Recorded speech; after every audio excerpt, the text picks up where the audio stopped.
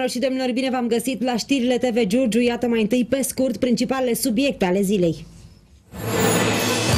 Pagube în oraș după furtuna de vineri noapte. Poliția Giurgiuveană și-a sporit efectivele. ISU Giurgiu scoate la concurs 48 de posturi. Două săptămâni de bâlci. Punct pentru Astra la meciul de duminică.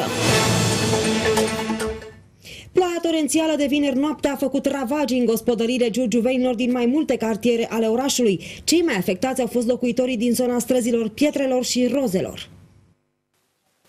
Foarte multe gospodării din Giurgiu au avut de suferit din cauza ploii torențiale de vineri noapte, în special în zona străzilor, rozelor și pietrelor, dar și în alte cartiere ale orașului. Apa a pătruns în case, provocând pagube însemnate. Câteva imobile sunt chiar în pericol de prăbușire, mai ales că este vorba de case vechi construite din chirpici, care și așa aveau o stare de degradare avansată. Sunt familii cărora apa le-a distrus și puținul pe care îl aveau și efectiv nu mai au unde să locuiască. De la ora 1 până la ora 4 dimineața, când a început ploaia aia puternică de tot, noi am anunțat pompierii, pompierii n-au venit.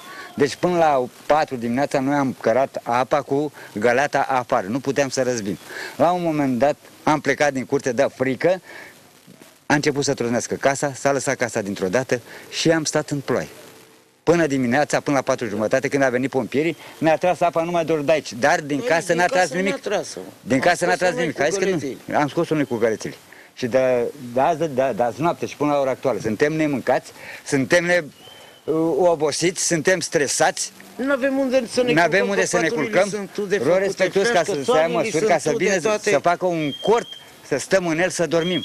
Am fata care trebuie să nască mâine, poi mâine, și unde stăm? Nu avem unde să stăm. Unde? Că în casă nu putem să stăm. În casă nu putem care să stăm. Care de casa pe noi? Noi nu dăm amicuț, n-am avut uh, posibilitate, apa prea mare n-am putut să ne-o dăm. M-am dus, m-am rugat de oamenii ăștia să vie, o să venim, o să venim. Am sărit pe geam de, cu copiii, i-am luat în brațe și am fugit dincolo la fime, că nu s-a suit în pat. Și am, am barat tușa aia acolo în casă, cu zdrențe, cu ce, dar n-am mai intrat apa, că să suia în pat. Nu mai aveam încotro să o luăm. Nu mai știam unde să pui țoalele, nu mai știam ce să mai facem. Toți copiii plângea, ăsta s-a sculat plângând și de dimineață. Toți locuitorii de pe strada Pietrelor și foarte mulți de pe străzile învecinate au avut de suferit. Cei mai afectați sunt și aceia care nu au posibilități materiale să își repare casele sau să își înlocuiască lucrurile distruse de apă. Eu unul din mine, eu iau o cantină socială, iau un ajutor social. Spuneți-mi dumneavoastră mie, din 2 milioane 80 de mii, 200, cum se spune așa, cu ce să scânduri să iau, ciment să iau, balasul să iau. N-am posibilitatea asta. N-am posibilitatea. Eu sunt bolnav, soția e bolnavă de diabet, face de trei ori pe zi insulină, fata mea bolnavă are azmă, am băiatul care mi este paralizat. N-avem posibilitate, n-avem. Asta. La primărie a venit cineva astăzi? Nu a venit nimeni. Nu a venit nimeni. Din partea primăriei A n-a fost venit. o fată venită și când am vrut să stăm cu ea nu, de nu. vorbă, să o aducem să ne fotografieze, i-a zis la băiatul ăla să, plece, să plece. Nu, să nu, a, nu. A fost din partea la, vezi, doamne, ca să, să aibă activitate pompieri. Din partea la pompieri a fost, nu din partea noastră. A zis că se duce pe albinelor. A făcut o singură fotografie, dar să vină, să, să vadă, vadă, să, să analizeze situația, n-a venit nimeni. Nimeni. S-a țars, uitați și voi, țalile cum Tot, șade. tot, Ude, tot, nici n-am s-a ales ce, tot. Nici n-am cu ce să schimb copiii, stăm, n-avem cu ce să spălăm, s-a țars tot, televizorul l-am scos din apă, uitați-l unde este. Nu mai, nu mai avem nimic, Luta nimic. tot în sus, dacă nu era Curentul s-a dus. Toți, că noi avem priza jos. Norocul că am întrezit, soțul și-a fugit repede, dar... Vă dați dumneavoastră seama, de la ora 1, de când a început ploaia aia puternică, și a început, că imediat s-a inundat aici, imediat, în 5 minute, 10 minute s-a inundat. Stradă, din dial. Și de la lume din casă, la mine aici a fost. Pentru că n-a făcut bine scurgerea. A făcut o țeavă și a băgat țeava mică. N-a băgat o mare ca să aibă putere să, să o preia. Asta este toată... Toată mizeriile după stradă și tot, toate tot, alea aici a fost, nu mai știam ce să mai facem. Am stat în apă până aici. Noi solicităm, da, seara și până la noi solicităm să vină să ia măsuri să ne scoată de aici, să ne... eu nu mai intru în casă, să mie să-mi facă un cort în fața curții aici, că să stau cu copiii mei, mi-e frică. V-am spus, suntem o persoane în două camere, dormim câte doi și în pat. Speranțele oamenilor se îndreaptă ca de obicei către autorități, acelea care trebuie să intervină în astfel de situații. Deocamdată se întocmesc liste cu casele afectate, iar timp de două zile din partea municipalității nu s-a interesat nimeni de soarta celor care au avut de suferit în urma furtunii de vineri noapte. Doar deputatul Florian Nicolae și Asociația Uniți pentru Giurgiu au sărit încă de sâmbătă în ajutorul locuitorilor de pe aceste străzi. Aceștia au primit pachete cu alimente de bază oferite de către deputatul Giurgiuvean și asociația menționată. Polițiștii giurgiuveni au avut mult de lucru în weekendul care a trecut. Ei au acționat pentru a fluidiza traficul către Vama Giurgiu, având în vedere că s-au format cozi de mașini care au depășit la un moment dat 10 km. În weekendul care a trecut, traficul către Vama Giurgiu și cel de pe podul Giurgiu Ruse au fost un adevărat examen atât pentru șoferi cât și pentru polițiști. Numărul autovehiculelor care se îndreptau către Vama a fost atât de mare încât s-au format cozi de peste 10 km. Este vorba despre peste 30 de polițiști care acționează uh, pe drumul național 5 în municipiul uh, Giurgiu și zona adiacentă punctului de trecere a frontierei.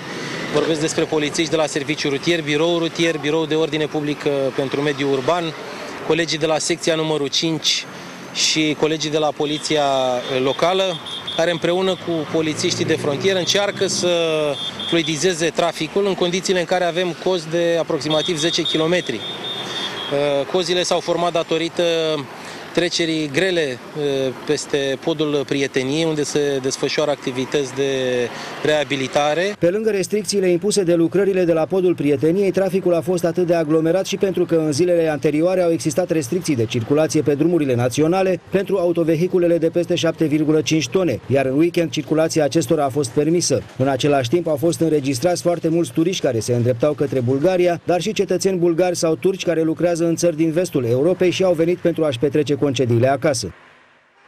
Inspectoratul Județean de Poliție Giurgiu a primit în rândurile sale 10 polițiști proaspăt absolvenți ai școlilor și Academiei de Poliție. Deși aceștia acoperă cu greu deficitul de personal al Poliției Giurgiuvene, sunt bineveniți, mai ales că cei mai mulți vor acționa în mediul rural, acolo unde este cea mai mare nevoie de cadre. 10 agenți de poliție absolvenți ai școlilor și Academiei de Poliție au fost primiți azi de conducerea Inspectoratului Județean Giurgiu pentru a fi repartizați pe posturi. Este vorba de șapte agenți de poliție în domeniul ordinii publice care au fost repartizați în mediul rural la posturile Hărești, Greaca, Schitu, Puturugeni, Ghimpați, Roata de Jos și Valea Dragului. Un ofițer, subinspector de poliție, va face parte din compartimentul juridic, un agent de poliție va completa serviciul logistic, iar un alt agent a fost repartizat la comunicații și informatică. Tinerii polițiști, înainte Înainte de a începe prima lor zi de muncă, au primit câteva recomandări din partea conducerii inspectoratului. Aveți o legătură permanentă cu autoritățile locale și căutați pe toate căile și canalele să vă îmbunătățiți pregătirea profesională. Vă recomand să vă înscrieți și la cursuri ale unor facultăți, să faceți și studii superioare necesare muncii de poliție, în special în domeniul drept.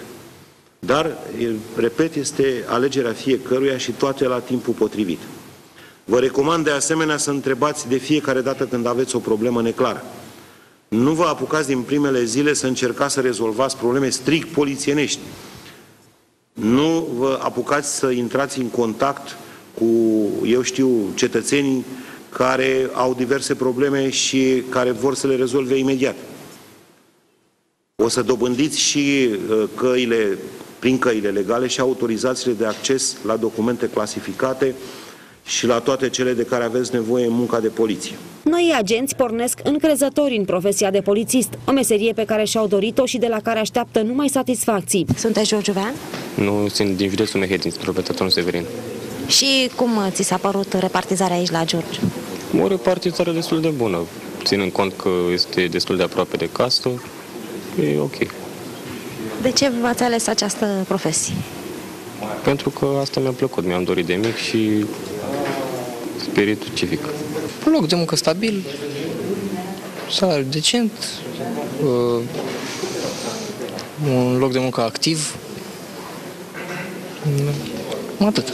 Veți merge în mediul rural, în județul Giurgiu, uh, cum vi se pare? Momentan, ce să vă spun, vedea pe parcurs, sper să mă voi descurca. Mi-am ales această profesie deoarece mi se pare o meserie frumoasă, interesantă, cu diferite satisfacții, mai ales pe plan profesional și consider că putem contribui câte puțin la menținerea ordinii și siguranței publice. Mi se pare destul de interesant și de frumos. Cu toate. La riscuri v-ați gândit? Sunt și riscuri, dar ca în orice meserie ne asumăm riscurile, pentru că nu se poate fără riscuri. Inspectoratul Județean de Poliție Giurgiu se confruntă cu un mare deficit de personal, însă situația nu este la fel de gravă ca în alte județe. Totuși, odată cu venirea celor 10 polițiști, se mai acoperă din lipsuri, în special în mediul rural, acolo unde doi polițiști sunt nevoiți să deservească patru localități. Și în acest an, în prima parte a lunii lui Gustar, se va desfășura vestitul Bâlci de Sfântă Mărie. Deși tradiția se păstrează de ani buni, administratorul parcului spune că în 2015 numărul comercianților care asigură distracția giurgiuvenilor va fi mai mic decât anul trecut.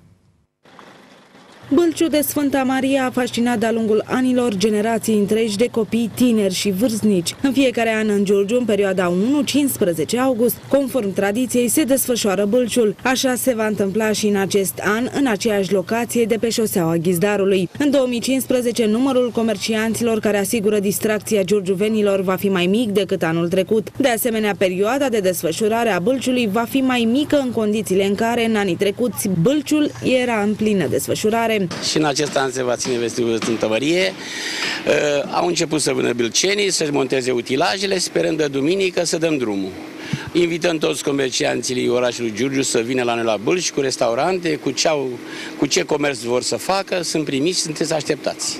Ce avem până acum? Ce, cu ce au venit? Acum au venit jumătate din ei, apro aproximativ jumătate din, din utilaje și sperăm să vedem ceilalți. Începând de mâine să vor monta și comercianții. N-au venit decât doi deocamdată și invităm pe toți să vină. Cu speranța că vor scăpa de grijile cotidiene, giurgiuvenii au la dispoziție în această perioadă câteva zile de relaxare, iar caruselele, lanțurile, parașutele și multe alte comedii vor fi aduse în parc spre bucuria celor mici. Administratorul Bâlciului vrea să amenajeze Bâlciul ca la carte, unde comercianții să-și poată expună produsele variate publicului larg. Nici în acest an nu vor lipsi micii, berea, gogoșile și vata pe băți, care fac deliciul tuturor, indiferent de vârstă. În ceea ce privește siguranța celor care vor veni să se distreze aici, peste 100 de jandarmi asigură măsurile de ordine publică cu această ocazie. Astfel, în perioada 3-15 august, jandarmii patrulează zilnic în apropierea oborului de pe șoseaua Ghizdarului și în zona limitrofă acestuia pentru creșterea gradului de siguranță al cetățenilor și prevenirea faptelor de natură contravențională și penală. La fel ca și la poliție și pompierii se confruntă cu un deficit mare de personal. Din acest motiv, la ISU Giurgiu va avea loc un concurs, de data aceasta din sursă externă pentru ocuparea a 48 de posturi libere. O noutate este aceea că s-a impus limite de vârstă, în sensul că se pot înscrie numai cei cu vârste între 18 și 27 de ani. În urma condamnărilor penale din 2007, când la Giurgiu a fost fraudat examenul, Inspectoratul pentru Situații de Urgență al județului Giurgiu a rămas cu un deficit de personal de 25-30%. S-a organizat concurs pentru ocuparea posturilor vacante, dar din sursă internă, însă nu toate locurile au fost ocupate, motiv pentru care s-a solicitat organizarea unui alt concurs, de data aceasta din sursă externă. S-au aprobat uh, în prima fază încadrare din sursă, organizarea de examen pentru încadrare din sursă externă din rândul militarilor în rezervă, care aveau calificări necesare. Uh, din nefericire, uh, nu am putut încadra uh, decât o mică parte din posturile scoase la concurs, în jur de 27, dacă nu mă așa, rămânând un număr de posturi care au rămas neocupate. S-a făcut demersul din nou către conducerea Ministerului și prin Nota raport uh, întocmită de Inspectoratul General și aprobată de domnul uh, vicepremier Gabriel Oprea, s-a aprobat scoaterea acestor locuri la concurs din uh, sursă externă, Uh, fără a mai fi nevoie de uh, experiență anterioară în domeniul militar. Cele 48 de posturi scoase la concurs sunt pentru toate unitățile de pompieri din județul Giurgiu, 18 dintre acestea fiind pentru conducător auto. S-au scos un număr de 48 de posturi de subofițer la concurs, cu recrutare din sursă externă, 18 posturi de conducător auto și 30 de subofițer operativ principal. Repartiția acestora este următoarea. În cauza tașant de pompier Giurgiu, garda numărul 1 de intervenție Giurgiu, 10 posturi de subofițer operativ principal și 5 de conducător auto autospeciale. Tot în cadrul așa de pompier Giurgiu, echipajul autospeciale de primă cercetare și evaluare CBRN, un post de conducător auto. și la garda numărul 2 de intervenție Colibaș, 4 posturi de subofițer operativ principal. În cadrul tașamentul de pompier Bolintin Deal, garda numărul 1 de intervenție Bolintin Deal, 7 posturi de subofițer operativ principal și 6 de conducător auto. În cadrul gărzii numărul 2 de intervenție Mihaile, 6 posturi de subofițer operativ principal și 3 de conducător auto autospeciale și în cadrul gărzii numărul 3 de intervenție roata de jos, 3 posturi de subofițer operativ principal și 3 de conducător auto. Pe lângă faptul că la acest concurs se pot înscrie și cei care nu au studii militare sau care nu au mai lucrat în structurile MEAI, o altă noutate este aceea că s-a impus limită de vârstă, în sensul că își pot depune dosarul doar cei cu vârste între 18 și 27 de ani. Pentru a nu fi discuții legate de discriminare, există și un document de la Consiliul Național pentru combaterea discriminării care încuvințează această limitare a vârstei care sunt condițiile de înscriere la concurs și care este data limită până la care se pot depune dosarele, puteți afla imediat după jurnal în cadrul unei ediții speciale. Asociația Uniți pentru Giurgiu oferă sprijin elevilor care vor susține examenul de bacalaureat în sesiunea a doua. Cei care doresc să se pregătească suplimentar au ocazia să participe la meditații gratuite prin intermediul acestei asociații. Elevii care nu au promovat prima sesiune a examenului de bacalaureat și se pregătesc pentru sesiunea de toamnă au o șansă în plus oferită de Asociația Uniți pentru Giurgiu. Aceasta oferă meditații gratuite susținute de profesori de specialitate, meditații care se vor desfășura la sediul asociației. Departamentul uh, profesional științific al Asociației Uniți pentru Giurgiu anunță începerea sesiunii de toamnă a meditațiilor pentru elevii absolvenți, cei care nu au reușit să uh, treacă peste hopul uh, bacalaureatului uh, din vară. Și tot în premieră aș vrea să anunț faptul că din această toamnă vom începe meditații pentru elevii care sunt în clasa 8 și care urmează să dea examenul de capacitate anul viitor, ei vor uh, beneficia de meditații gratuite în cadrul uh, Asociației uh, Uniți pentru Giurgiu pentru cele două discipline, română și matematică. Elevii care doresc să participe la meditațiile oferite de Asociația Unis pentru Giurgiu pot obține informații suplimentare direct de la sediul acesteia din strada Constantin Brâncoveanu, în incinta sediului grupului de firme Nova Force sau pot solicita detalii pe pagina de Facebook a asociației. Peste 1000 de absolvenți de liceu s-au înregistrat în evidențele Agenției Județene pentru ocuparea forței de muncă Giurgiu în 2015. Elevii au avut la dispoziție două luni pentru a se înscrie în cursa obținerii indemnizației de șomaj în valoare de 250 de lei. Pentru a intra în posesia banilor, cei înregistrați trebuie să depună o serie de acte până la data de 6 august. Tinerii care abia au terminat liceul și nu au diplomă de bacalaureat în mână vor să obțină carnetul de șomer. În această situație se află peste 1000 de absolvenți giurgiuveni care s-au încadrat în cele două luni puse la dispoziție de lege și au venit să se înscrie la AJOFM în vederea obținerii indemnizației de șomaj. Pentru cei 250 de lei pe care îi primesc în următoarele șase luni, elevii trebuie să întocmească un dosar și să-l depună la sediul instituției. Actele pot fi depuse doar de cei care s-au înscris în intervalul de 60 de zile de la terminarea studiilor prevăzut de lege. Pentru a putea beneficia de indemnizație de șomaj în perioada 29 mai-27 iulie 2015, absolvenții instituțiilor de învățământ liceal promoției acestui an trebuiau să se înregistreze în evidența Agenției Județene pentru Ocuparea Forței de Muncă Giurgiu.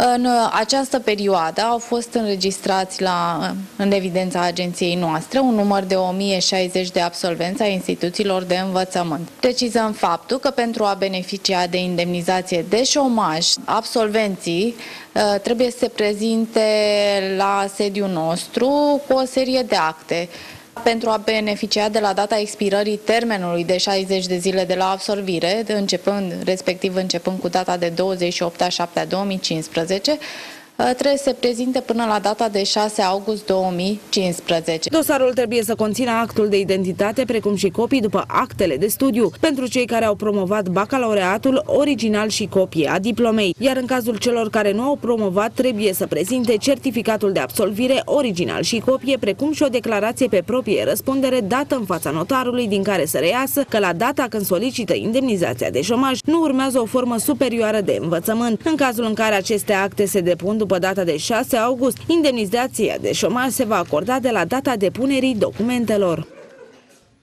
Anul acesta, Festivalul Teatrelor Dunărene se va desfășura pentru întâia oară atât la Giurgiu cât și la Ruse, iar iubitorii de teatru vor putea urmări spectacolele trupelor din țară și străinătate pe mai multe scene. În festival se promite o premieră românească cu o distribuție inedită. Evenimentul cu derulare între 18 și 22 octombrie prevede și organizarea și derularea ediției a șasea a concursului Dramaturgie în 2.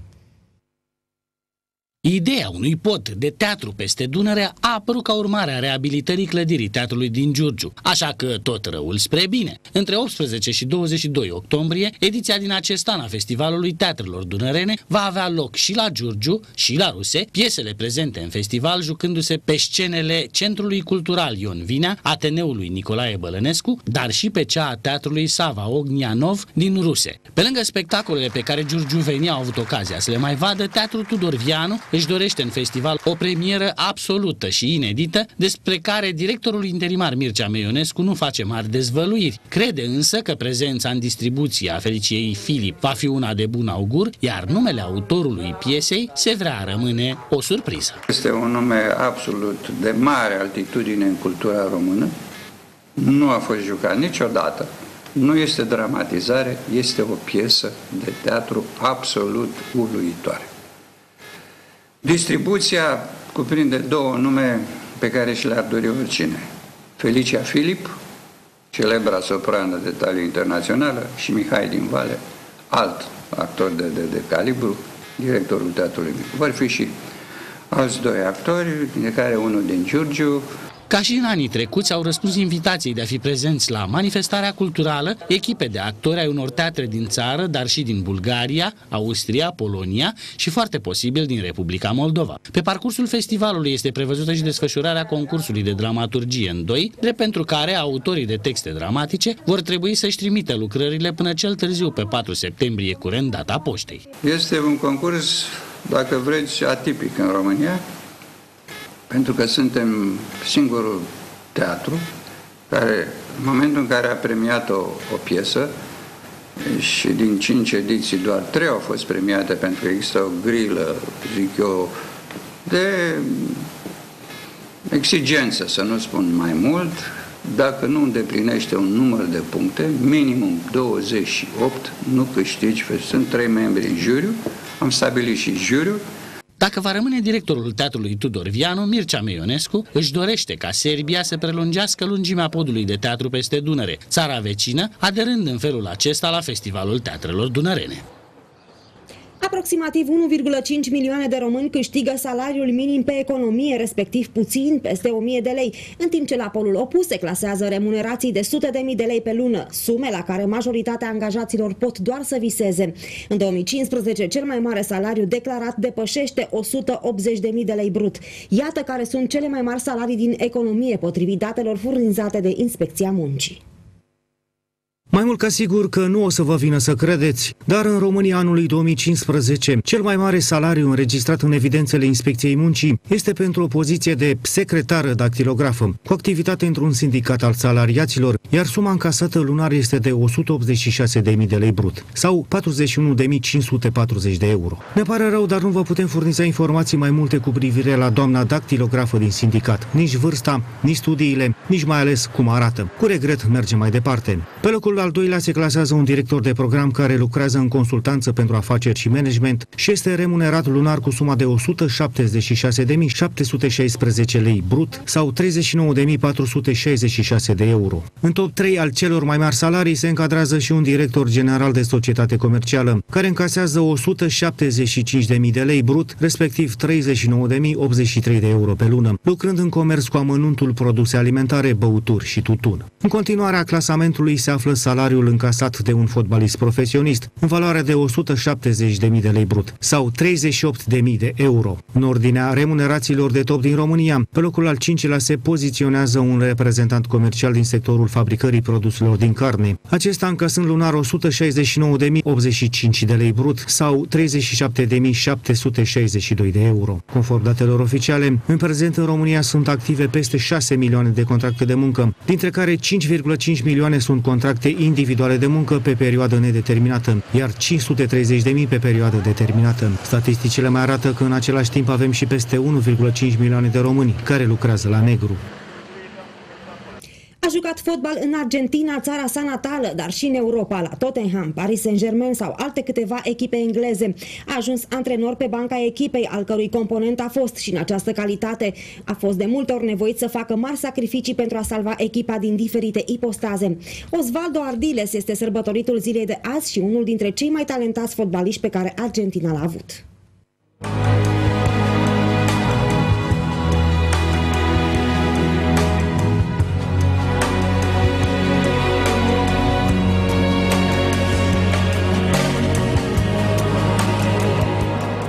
Apropiindu-se încet de vârsta senectuții, dar cu o memorie la fel de agilă precum cea de pe vremea când reprezenta Argentina la campionatul mondial de fotbal din 1978, de pe meleaguri natale, Osvaldo Osi Ardiles își mai aduce aminte de începuturile sale între ale fotbalului. Era poreclit piton de către fratele său din cauza driblingurilor pe care le executa asemănător mișcărilor unui șarpe. Ardiles și-a început cariera profesională în Argentina, țara în care s-a născut pe 3 august 1952 2002, dar după El Mundial Argentina 68 vine în Europa și joacă la Tottenham preț de 4 sezoane. Tot în țara fotbalului, argentinianul mai joacă pentru Blackburn Rovers, Queen's Park Rangers sau Swindon Town.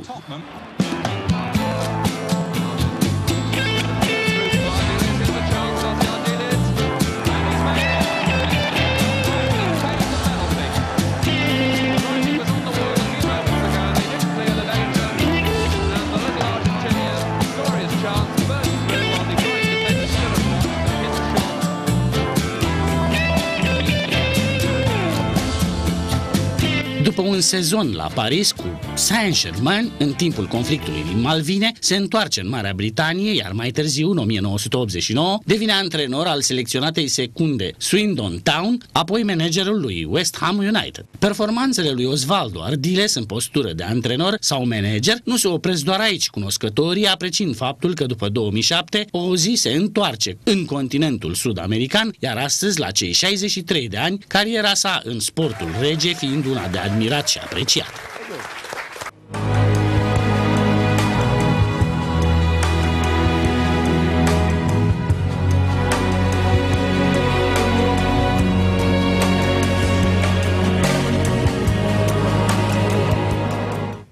Doamnelor și domnilor, acestea au fost principalele informații ale zilei. Rămâneți cu TV Giurgiu, urmează sport, meteo și o ediție specială. Nu ratați emisiunile Sport, Arena și Audiența. Eu sunt Nicoleta Pană, vă mulțumesc pentru atenție, toate cele bune!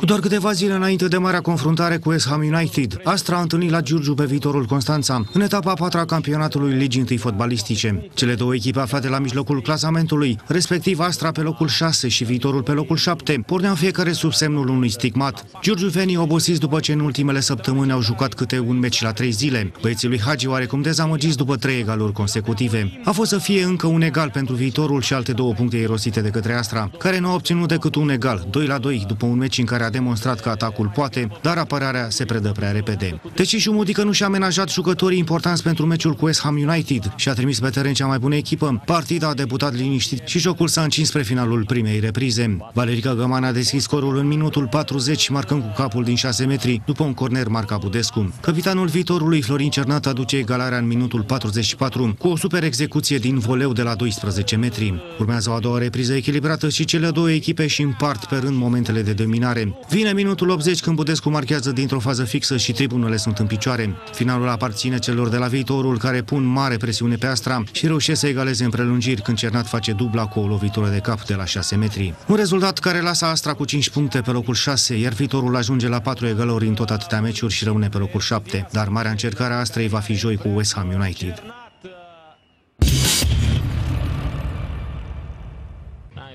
Declarații și declarația seară la conferința de presă de după partida Astrei contra viitorului Constanța. Șumudic a venit primul în fața jurnaliștilor și a vorbit cu mare respect despre FG Viitorul, dar mai ales despre antrenorul acesteia, pe care l-a numit de fiecare dată domnul Hagi.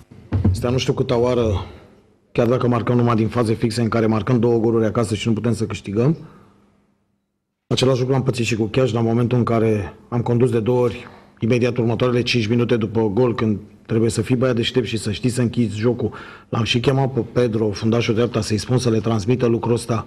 Noi n-am reușit, n-am mai, ieșit, n-am mai putut să ieșim din careu. Ducem lipsă în continuare unui vârf de atac de talie, un jucător care să țină de minge în anumite momente. Ne-am și îmbolnăvit un pic, așa am luat virusul ăsta englezesc al fair play-ului, în sensul că în momentele respective noi nu știm să tragem de timp cum fac alții și astăzi, chiar dacă echipa adversă era o echipă cu mai mult, puțină experiență și o echipă mai tânără, au știut să închidă jocul de vreo 3-4 ori, să facă ca aibă cărcei, ca o cărcei și să stea pe, pe teren. Au știut să facă lucrurile astea. Noi n-am știut să le facem, fiindcă un moment se câștigă și cu astfel de trucuri. A fost penalti, nu? A fost penalti. Am, mi-au spus toți de la toate televiziunile că a fost penalti la Danda. Îl prinde în brațe și îl uh, dărâmă. Dar la noi s-a învățat. Este, eu n-am nimic cu tot respectul pentru domnul Hagi și el a fost defavorizat etapa trecută de domnul Robert Dumitru, de două penaltiuri și acum dacă ai gura mare și cerți un pic și asta, următorul meci ești arbitra corect. Asta o să fac și eu. Acum, toată săptămâna asta o să apar, fac toți și probabil la Timișoara o să am și eu un arbitraj uh, corect. Nu știu dacă în prima fază, în prima repriză a fost în careu sau nu a fost în careu, poate n-a fost în careu, eu n-am văzut foarte bine de acolo, dar vă spun sincer că în a doua, la a doua, deci a fost și mi-au spus patru oameni de televiziune, nu se înșeală, penalti clar, îl ia în brațe și îl trântește. Dacă ești arbitru și ai sânge în instalație, scuzați-mi expresia, tu te bă și pune-o pe var, fiind, dăm ce e al meu. Cum a zis domnul Hagi etapa trecută, ce a zis domnul Hagi? Bă, dăm ce e al meu. Bă, și eu vreau la fel, ce e al meu. Nu vreau nimic în plus. Dacă dânsul avea un penalt, eu recunoșteam. Da, asta e. Cine are gura mai mare, probabil și impactul ăsta este Hagi, vă dați seama? Cine? Șumudică. Cine e Șumudică pe lângă Hagi? Șumudic. Antrenorul viitorului Gică Hagi s-a arătat mulțumit de elevii săi, dar în același timp a fost apreciativ la adresa giurgiuvenilor. După mine e un rezultat echitabil, chiar dacă și ei puteau să câștige și noi puteam să câștigăm, dar un meci deschis, un meci frumos, goluri multe. Din păcate noi, în începutul acesta de campionat, concluzia e că în atac stăm destul de bine, mai avem să lucrăm pe jocul fără minge, în care în anumite momente luăm prea ușor gol. Dar asta e, o să analizăm și încercăm ca pe viitor să remediem în acest lucru, pentru că chiar dacă jucăm bine, marcăm goluri, uh, meci de meci luăm gol și nu-i bine. Datorită acestui fapt, eu zic că de față avem patru egaluri, dacă nu, cred că în mod normal și cum am jucat în primele patru etape, puteam avea cel puțin două victorii.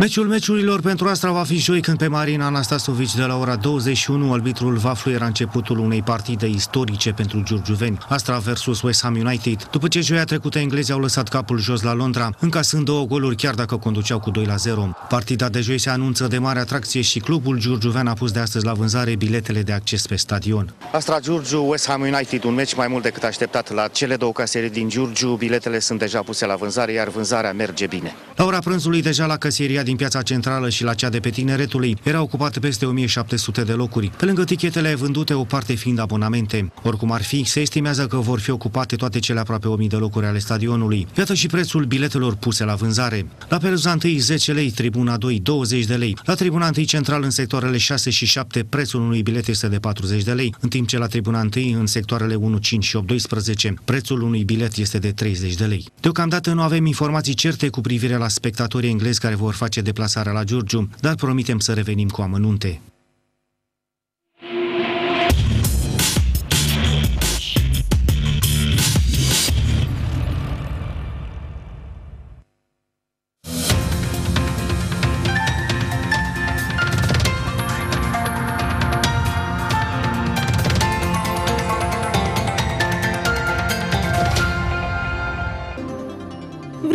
Vremea va continua să se încălzească, devenind izolat caniculară în vest și în sud. Cerul va fi variabil parțial noros în sud-estul țării, în extremitatea de vest, dar și la munte și mai mult senin în celelalte zone. Vântul va fi în general moderat în sud și în sud-est și va sufla slab în restul țării. Temperaturile maxime se vor încadra între 29 și 35 de grade, iar cele minime vor fi cuprinse între 9-10 grade în depresiunile Carpaților Oriental și 22-24 de grade în dealurile de vest și pe litoral. Marți, în județul Giurgiu, se vor înregistra 32 de grade la Bolentin Vale, Mihăileș, Ghimpați, Izvoarele, Hotarele, Comana și 33 de grade Celsius la Giurgiu. Vântul va sufla cu o viteză de 16 km pe oră în direcția nord-est. Presiunea atmosferică va fi de 751 mm coloană de mercur, iar umiditatea de 47%. Cotele apelor Dunării sunt în creștere cu 2-8 cm, cota probabilă fiind minus 34 cm.